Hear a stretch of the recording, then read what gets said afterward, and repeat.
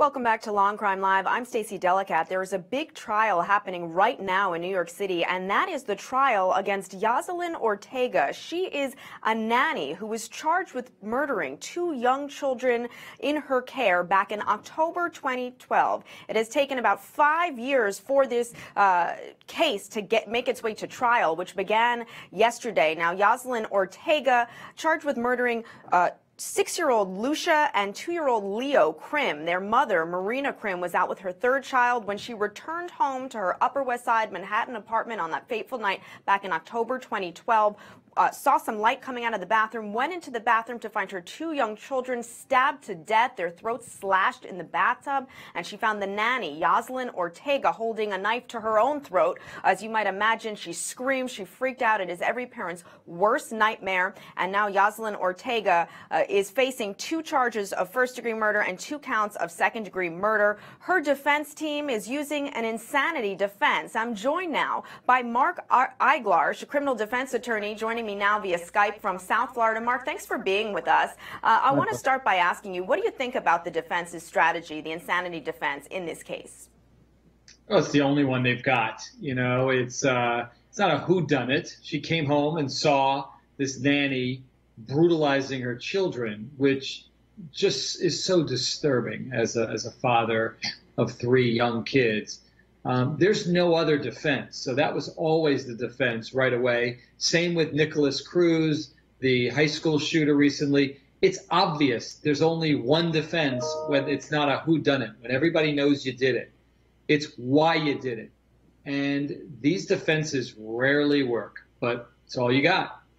You know, this is such an emotional case, and I can tell you, living and working here in New York City, when this news broke in October 2012, it was front page news on the local papers for days and days, and there were so many people who felt they could relate to this because uh, there's so many working parents here who, who have nannies, you know, and, and all over the country, of course, all over the world. And these are people that you trust so much with your children. So to see something this extreme was so, so shocking to so many people. Um, the parents in this, the Krims, Mark and Marina, as you might imagine, absolutely traumatized, went through some very difficult times, but ultimately started a fund, a foundation in their child's memory. They have a Facebook page and they put up a little video before the trial started earlier this week. So let's listen to a part of that and then we'll come back and talk about Marina Krim's testimony. Hi, she was on the stand yesterday.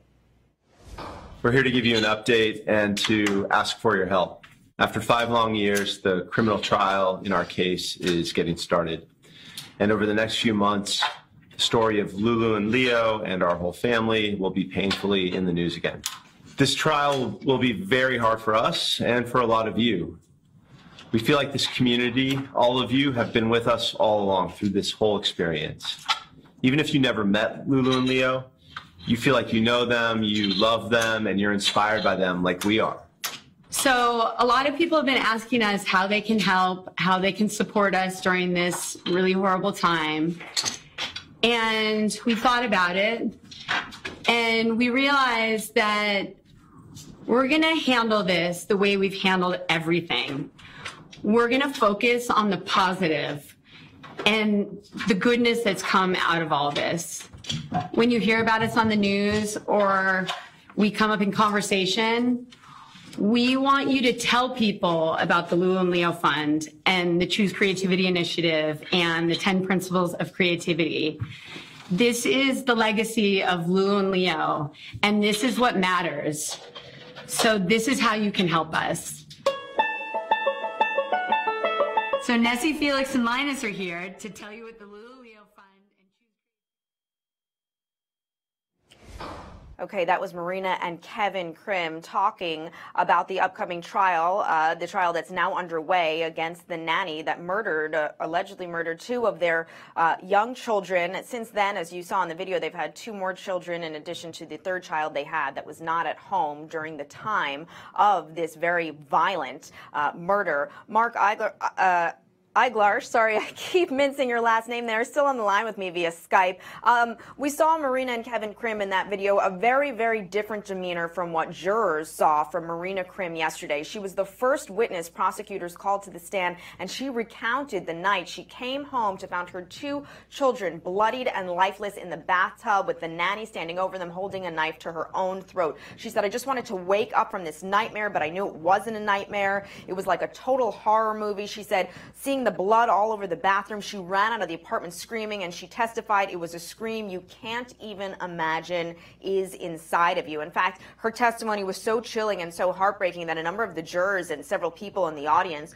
were wiping away tears throughout her testimony. Understandably, again, as you and I have said, anyone can relate to this, just imagining the horror of this. So, um, just based on her bit of testimony yesterday alone, I would think that the defense really has an uphill battle here to convince jurors. Don't you think jurors will be very swayed by the emotion in this case?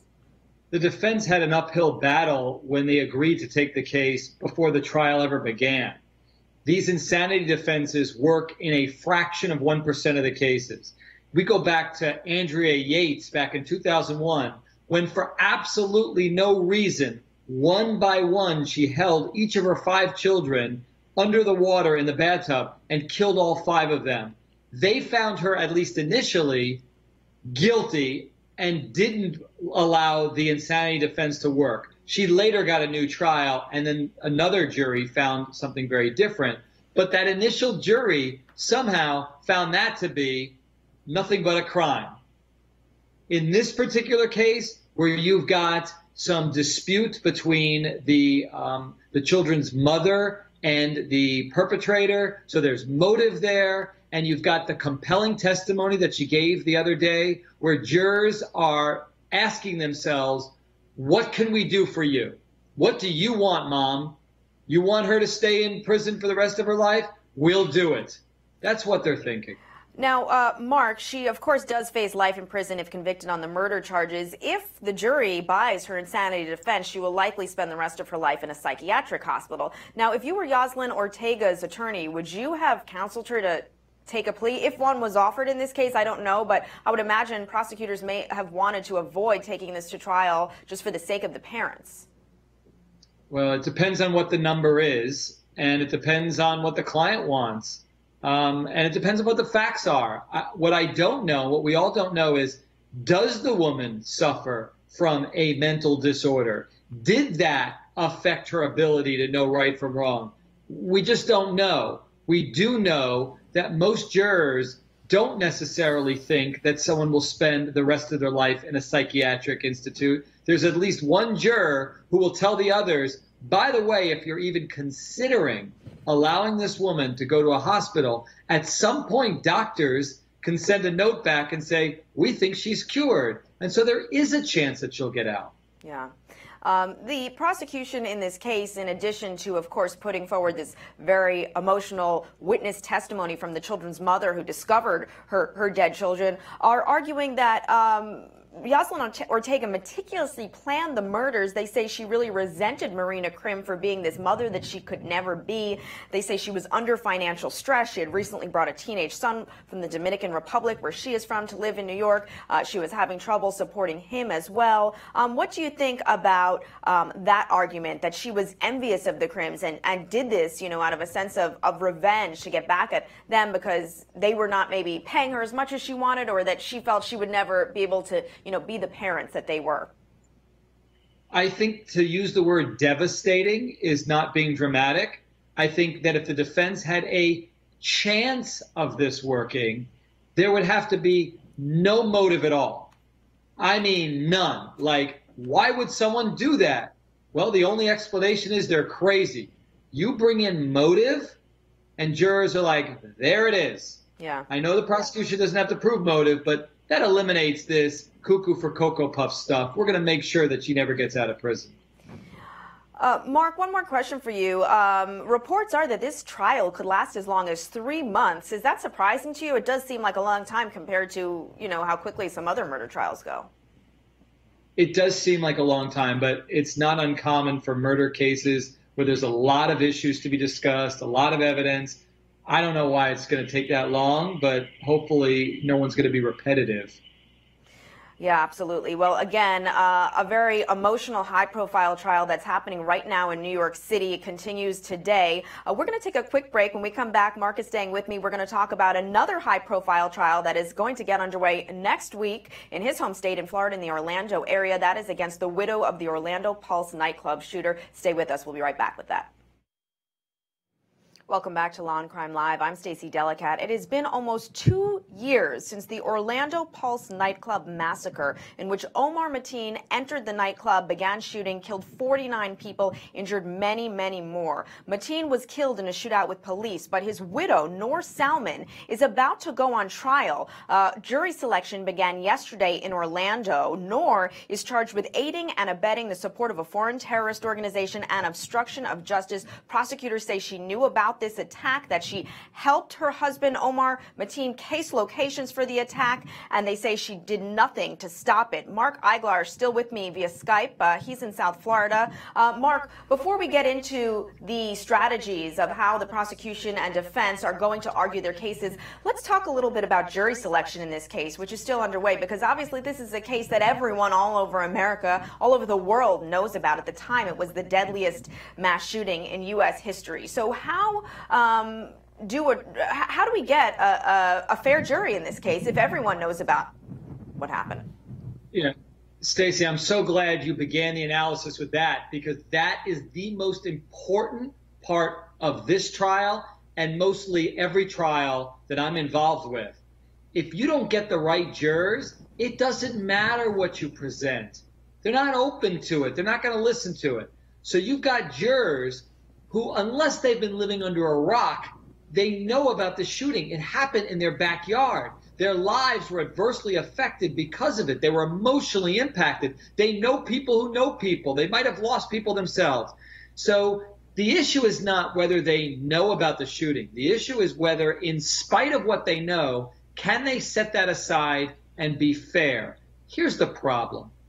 This always leads to stealth jurors jurors who claim that they can set aside their feelings, but we know that they're not going to do that. They have an intended purpose, and that's either to acquit or to get the person who did it. I think this is the most challenging part of the trial, and I think the defense needs to get in those people's faces, ask the right question, challenge them as I do when they say they can be fair and impartial. I try to get them to say, Tell me why.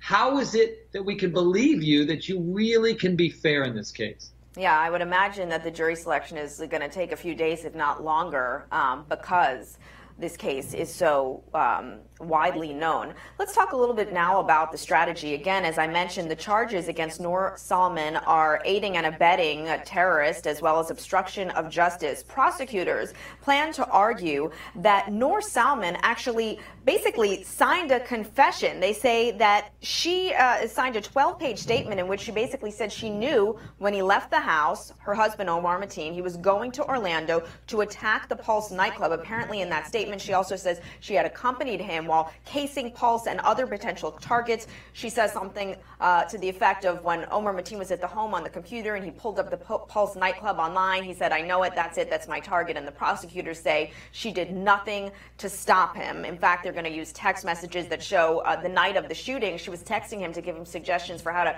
cover up where he was if his mother tried to contact contact him. But the defense attorneys are arguing that uh, she was coerced into signing that statement. They basically told her after hours and hours of interrogation, if you sign this, we'll let you go. And they also say she feared her husband. She suffered significant mental disorder and PTSD because he was physically and mentally abusive to her. So let's talk about this. Um, defense argument, really, that she was forced to sign this statement, which is essentially a, a confession. Will that hold up in court? It depends upon the facts. So the prosecution needs to put their witnesses on and say, tell us exactly what happened, and they'll go through it and appear, hopefully, if you're the prosecutor, credible and believable as they say they did nothing coercive. We simply offered her a drink and said, ma'am, would you like to help us? They read rights to her. She waived those rights freely and voluntarily and then told us what happened. The defense is going to need something more. They're going to need if they don't have it, you know, on video or audio where they did something to her to make her confess, they're going to need some witness. That might mean putting her on the stand, which is really risky and really problematic. Didn't work out in the Burch case we saw. I think that that's one of the worst things that most defense lawyers do is say, oh, I'm going to put my client on the stand. Really? That's one thing you can't control. So you're going to turn over your client to the prosecution who can make anybody look bad? Generally, I don't like it. So they've got to have more. And I don't know what they've got, if anything, to prove that this was coercive. Yeah, and um, of course, we don't know whether or not she will take the stand. That'll certainly be something to look out for. What about this argument that her husband, Omar Mateen, abused her? Apparently, uh, her attorneys say he was abusive when she was pregnant with their child. He, he physically um, and verbally threatened her. Will, will that make a difference in this? If she says, you know, I was this abused wife, I was terrified of him, I, I couldn't do anything to stop him, I couldn't even stop him from hurting me? Yes, I think that that is a step in the right direction the first thing it does is that it creates some potential sympathy for your client. That's obviously not what you're supposed to be doing it for, but it starts with that, that she was just a, a mother and a, a devoted wife, and she had this animal, violent criminal living in her house, and she couldn't get out of it. Okay, that's that's her argument. I'm not necessarily saying that's what I believe, but that's what she would argue. And so from that comes you know, he forced me to drive him around. I didn't know what he was doing at the time. There's no way I could stop him. He was determined to commit these abhorrent offenses. And well, by the way, they made me put down this stuff in paper that that wasn't really what I felt and believed. One last question about this case, Mark. Uh, a question I've, I've, seen written about is, well, even if she was scared of him, why didn't she report the attack at least once he had left for the club, the, the, club 120 miles from their home, so he's a ways away. Why not at that point at least call in a tip? Great question, and that's something that we would all have done. And you know that's why the defense wants to paint this as a very unusual, abusive relationship, um, and that she wasn't in a right frame of mind. It's a, really a tough question to answer. But I'll throw this out there: if the only allegation, and that's not the case here, but if the only allegation were she knew that her husband was going to commit these horrible crimes and did nothing about it. She wouldn't be held criminally responsible because she's under no legal duty, criminal duty, to do anything. Morally, it's disgusting to think she wouldn't do, you know, something like that and call law enforcement. But if I know that a crime is being committed and I just I see it, I look at it, I don't do anything about it, I don't aid, I don't assist in any way, there's no crime there. You can come up with some crime, but that's not going to hold water. Where she screwed up was driving him around and assisting him in any right. way, knowing what he was going to do, allegedly. Right. Well, again, the trial set to get underway next week in Orlando. Mark, thanks for your analysis on that. I know you're going to stay with us. When we come back, we're going to talk about the verdict in the George Burch trial. I want to see your thoughts on that. Uh, stay with us. We'll be right back after this break. Welcome back to Law and Crime Live. I'm Stacey Delicat. Yesterday, Green Bay, Wisconsin jury found George Burch guilty in the 2016 murder of Nicole Vanderheyden. They debated, uh, uh, the jury um, met for about three hours before arriving at that verdict. I want to quickly replay the verdict, and then Mark will join me back on the line to discuss.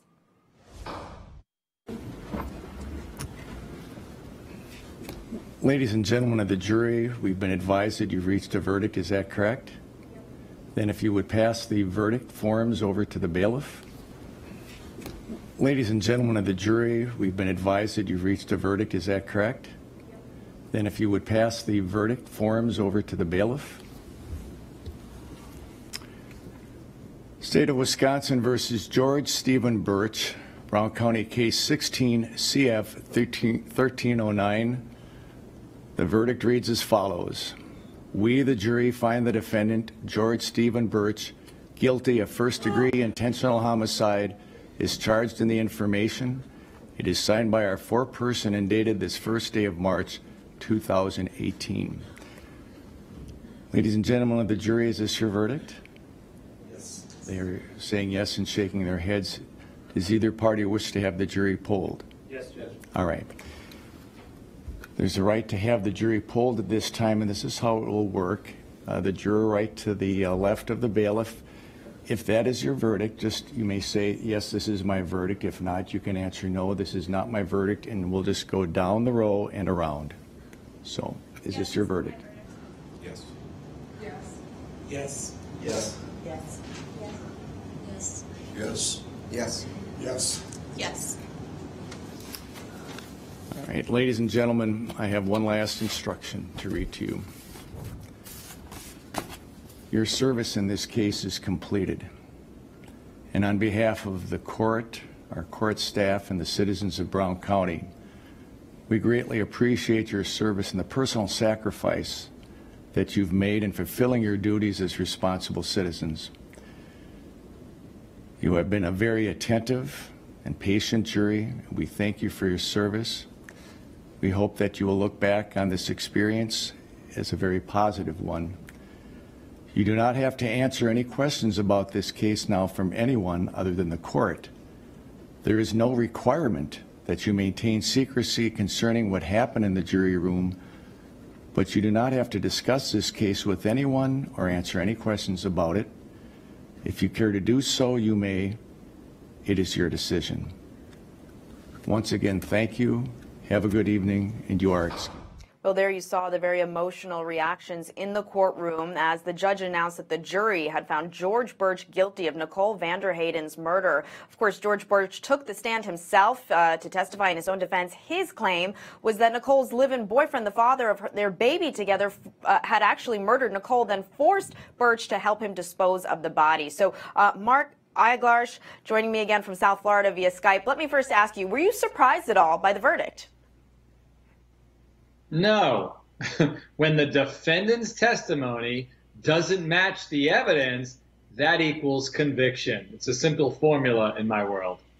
Yeah. Uh, certainly that is true. The one thing in this case, though, that had me even was the motive here, because the way this case was laid out and the way the defense argued their case was that Douglas Detrie, um, the boyfriend, had gotten jealous when he discovered Nicole having sex with George Burch, so perhaps he was angry about that. The couple had also been sparring. She had been accusing him of cheating. There had been it had been a very rocky road in their relationship. So de- the defense tried to say Doug Detrie had a motive, but George Burch didn't have one. They really hit home on that, of course, in their closing arguments. Does the the lack of a motive here? I mean, obviously it didn't bother the jurors, but did did uh, what did you think of that? There's a reason why prosecutors in a murder case don't ever have to prove motive. And the answer is because, well, you don't always know why somebody kills someone. It's impossible to find out what's going on behind closed doors, what really is the reason. The absence of a motive in a closed case can seal the deal for the prosecution and cause them to have problems. In a case like this, the jurors didn't find it was necessary. I don't think it was necessary. The evidence supported his conviction, and that's why they found him guilty. Yeah, and just recapping some of that evidence, um, GPS data had placed him in all four locations where the murder happened, where the body was found, where the clothing were found, where the clothing was found, and so forth. And also, his DNA was found on the electrical cord that had been used to strangle Nicole. It was found on one of her socks. Um, interestingly, in this case, prosecutors introduced Fitbit data. They claimed that Doug Detrie, her boyfriend, was wearing a Fitbit, and that the data from that Fitbit showed that he um, was not at the scene of the murder, that in fact he may have been sleeping at the time of the murder. Um, and, and this is somewhat new because Fitbits have only been around uh, a, a, little bit uh, uh, for, for, a few years now. But a question I have for you as a criminal defense attorney is that we didn't hear the defense call any expert to try to discredit that data because the first thing I thought of when I heard they were going to use the data was, are those, those things accurate all the time? You know, half the time right. I have an Apple Watch, right. I can't even get it to work half the time. That's right. Um, I don't know why. Maybe they couldn't find somebody who's really credible to say that the analysis done in this case wasn't appropriate, wasn't credible, wasn't good. Listen, I, I listen. I I want to have experts um, negate the prosecution's testimony and experts in certain cases. And I, yes, I could find Vinny Boombots in the alleyway, but is he going to be credible? Maybe that's one of the reasons. Maybe there was, um, I don't know, incompetence. Uh, there's a lot of reasons why the defense doesn't do certain things. But Stacey, we've got to address what I think is one of the most compelling things against this guy that wasn't necessarily something that the prosecution put into evidence. When he took the stand and said the reason why he didn't report this Right. was because he was afraid of going back to prison. Wait, what? Yeah. Jurors are hearing that this guy has a history which they never would have and legally cannot know. So now he's telling them, by the way, I've been to prison, not just jail, I've been to prison. And I didn't want to go back there. So now I'm someone who's morally bankrupt and I have an, uh, an extensive criminal history. Yeah, that is a very good. good point. And interesting to note the jurors did not know this, but that 20 years ago, George Burch, Burch was acquitted in a totally different murder case. The jurors didn't know about that, but that's something else uh, about his uh, background. Also, when he was on the stand, he did get a bit confrontational during the cross examination. I would imagine that didn't help his case at all when he got pretty reactive and testy to prosecutors. that doesn't help. But uh, you know, the guy doesn't really come across very likable. So the fact that he's just bantering with prosecutors is the least of his concerns. Most jurors cannot relate to someone who has been to prison. They can relate to someone who's in the wrong place at the wrong time, falsely accused. Everyone's been down that road. They've been falsely accused of something, whether it be in grade school or whether by their parents or or something, falsely accused of a traffic infraction, so they can kind of relate to that feeling. But the minute you say he's been to prison, I'm not saying that leads to automatic conviction. It just doesn't help. It's Yeah. a couple of strikes. Absolutely. Well, Mark Eiglarsh, thank you so much for your analysis of all these cases we've discussed today, and thanks for being with us here on Law and Crime as always. Uh, we're going to take a quick break, and coming up afterwards, we're going to take you live to Brevard County Bond Court. Stay with us.